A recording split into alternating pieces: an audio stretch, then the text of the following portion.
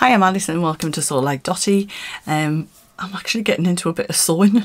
I'm still not feeling 100%. I'm going to bed anywhere around 8pm at night. Just get a fatigue that hits me. But on Friday night I did manage um, to make this Elysian bodysuit which I've had cut out for absolutely ages.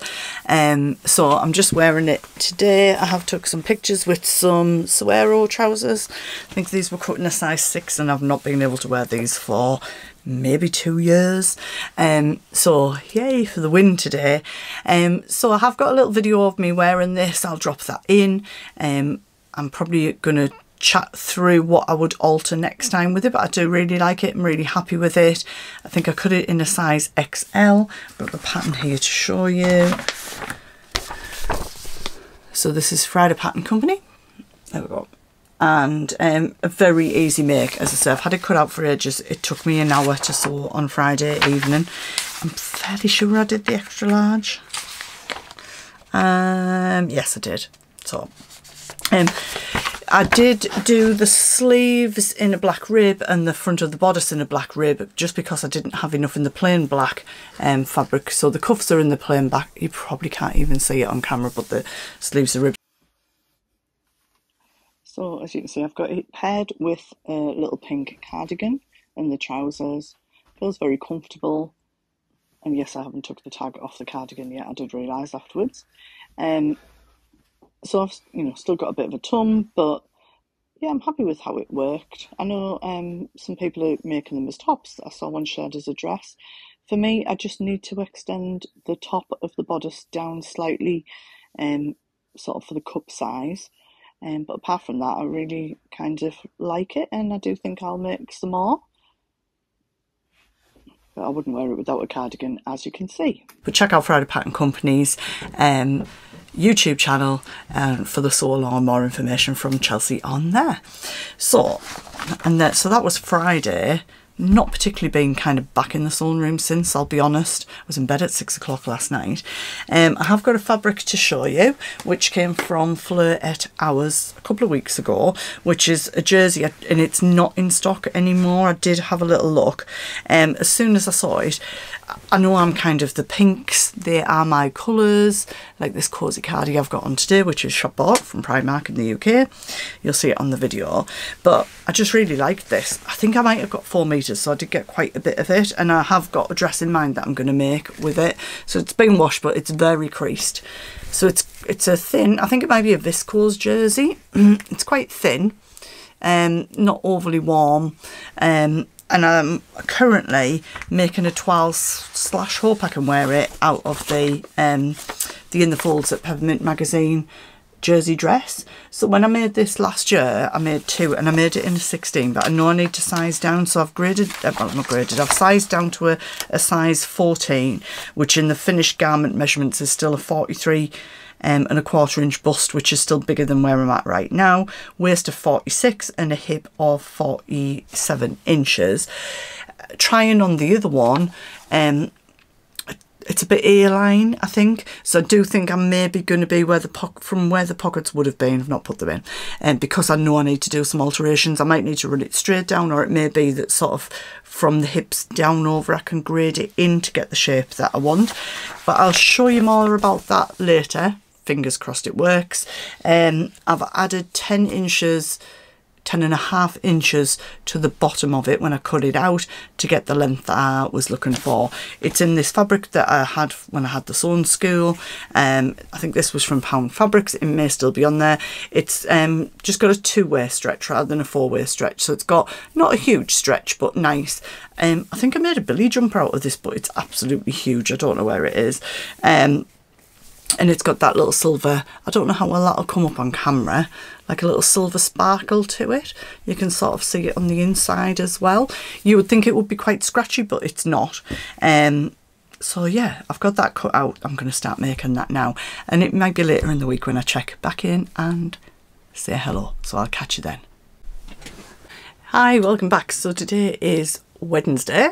Thought I'd do a little catch up with where I'm at. So today I'm wearing the Nell dress, which is by the Dressmaker's Closet. Um, made this one last year. It's like it just was like living in your comfy pajamas last year wearing these dresses. I do really like them. However, I think I need to drop probably two sizes in this. So it is looking rather large but I've been working from home. I've got my thermal leggings on with it. Didn't need the heating on because I was well wrapped up. Um, and the fabric was from First for Fabrics last year. So you might recall the last time I saw you that I was um, diving into make this dress, this longer version of the dress. So I will drop in some pictures, I'll talk to you about it, I'm going to show you it like it's worked well. I really like the length. I've definitely got that 100% right. Um, the only issue with it is that in this star fabric, um, I don't know whether it's because this doesn't have an awful lot of stretch and I have cut it the right way for the stretch across the arms or like I mean I've literally when I trimmed the pattern off it was the tiniest bit so I mean it's probably about five millimeters off either side so I've, I guess maybe a centimeter overall. I don't know I'm doing that sorry.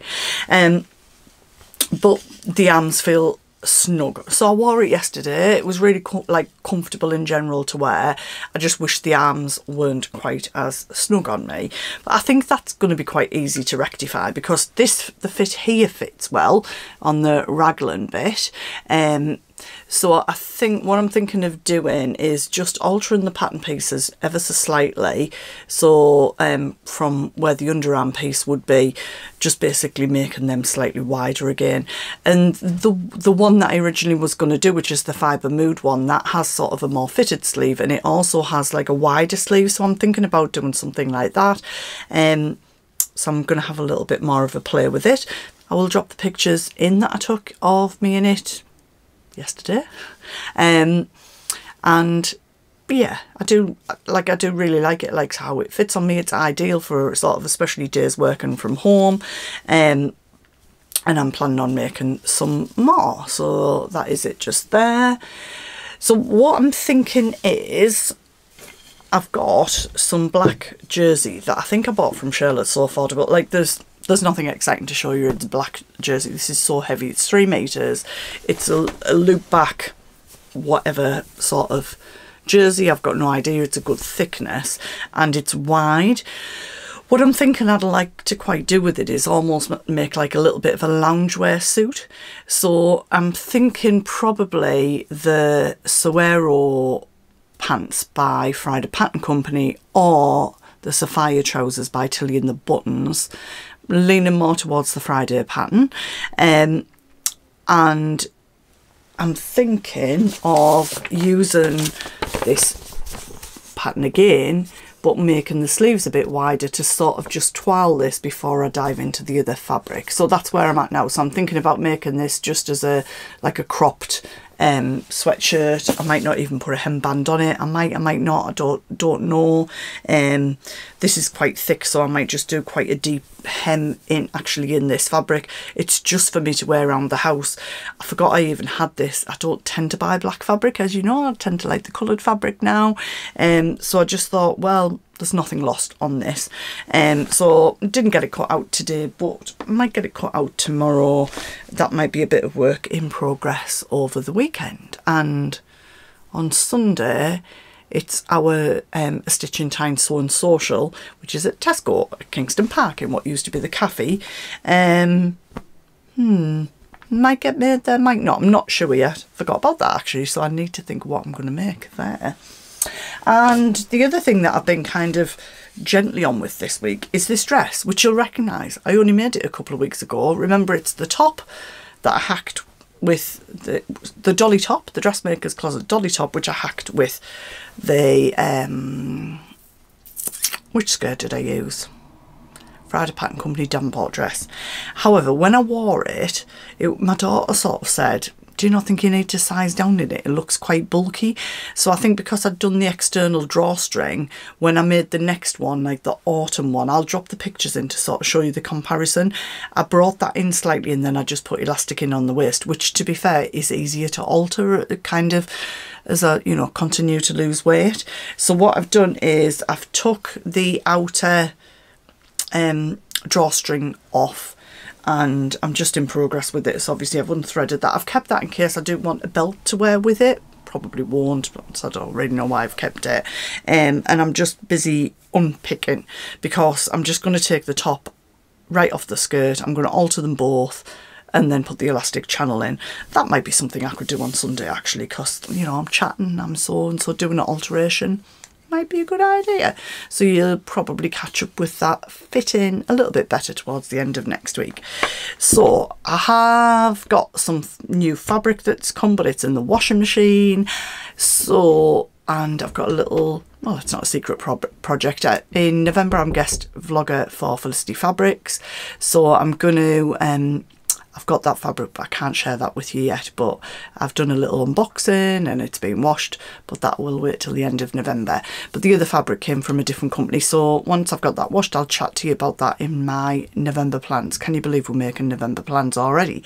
And also coming up we've got on this Sunday um, I'll be sharing my soap cycle vlog and then on when's November the 1st? Is that Wednesday? Wednesday, it'll be a gift to November launch. Do not miss that vlog. The prizes are epic. I'm so excited. If you thought last year was good, we've gone up a whole notch since then as well. So everybody that was involved last year is involved again and a whole lot more. And yeah, I'm not going to tell you anymore. Come back next Wednesday and find out. So happy sewing, everybody. Have a lush week, and I'll be speaking to you very soon. Let me know what you're up to, as always, in the chat. Give me a little thumbs up for a like, and if you've not pressed that subscribe button, why not? Bye for now.